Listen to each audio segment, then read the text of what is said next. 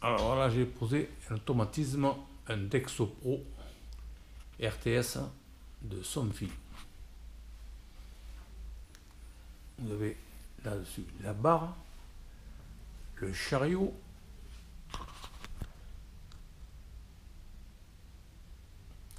alors, et j'ai rajouté, étant donné que le portail, c'est un grand portail qui est quand même assez flexible, j'ai rajouté une barre de blocage au milieu du portail. C'est un kit qui est vendu par fils pour ce système-là. C'est vous voyez, la tige qui descend en bas. Il y a un câble qui fournit avec le kit. Il y a les tendeurs. Il y a cette pièce qui se fixe là. Et cette pièce à déposer, à changer par rapport à celle qui est fournie avec le Dexo Pro RTS ou IO.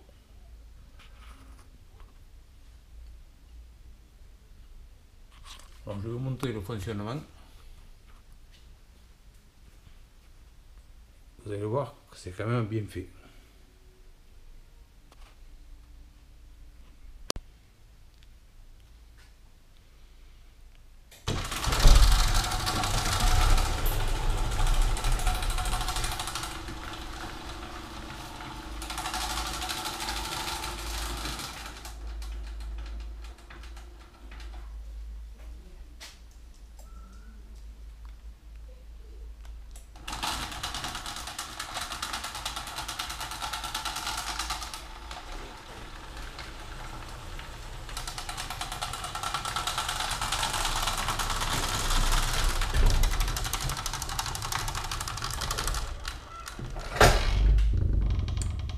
Voilà le blocage.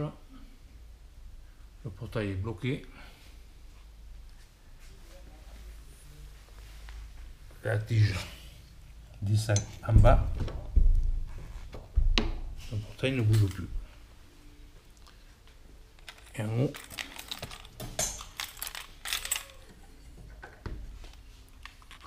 le portail est super plaqué.